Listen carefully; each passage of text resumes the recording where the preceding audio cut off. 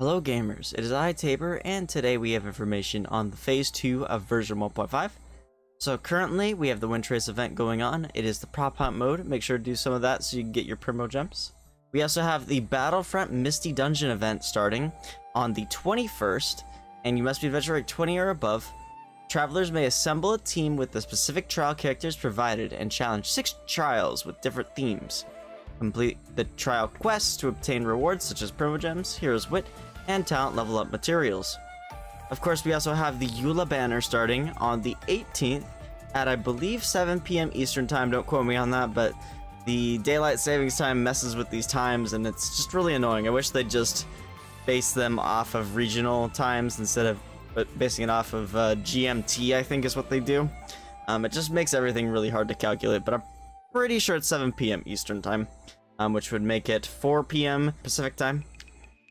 Um, it will have Xinyan, Xingqiu, and Beidou, which are all pretty good characters, I'd say, especially Xingqiu.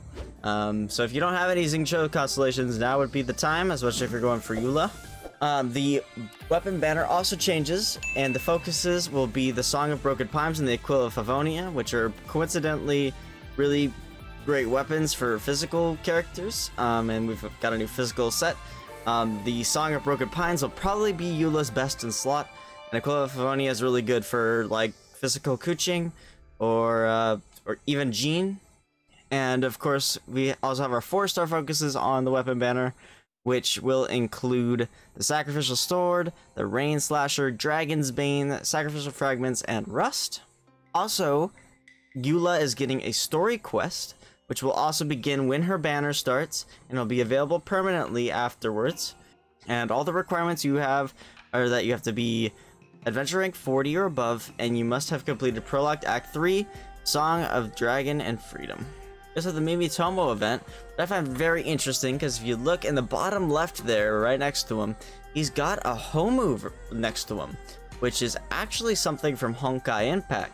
So I don't know if this is gonna slightly tie into Honkai Impact or if that's just a little Easter egg there, but I find it very interesting. It's the mysterious Hilichurl, we have seen him. Um, he's very hard to find, but there's a achievement associated with him. Um, I'm. I wonder if this event will let us get that achievement um, easier because it's pretty hard to find him currently. But it'll be starting on the 27th, and it'll be going till the 6th of June.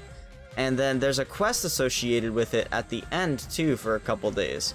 Um, during this event, you will complete the investigation of the unusual hilly Hilichurl to obtain rewards such as Liyue style furnishing, blueprints, Primo Gems, Hero's Wit, and Mora. So if you uh, want some more blueprints for your Serenitea Pot, you're going to be able to get some from the unusual hilly Hilichurl. We also have the Overflowing Mastery event, which is basically just double talent book materials, kind of like how we had the double uh, XP the XP book materials that one week um, back in, was that 1.3? I think that was 1.3.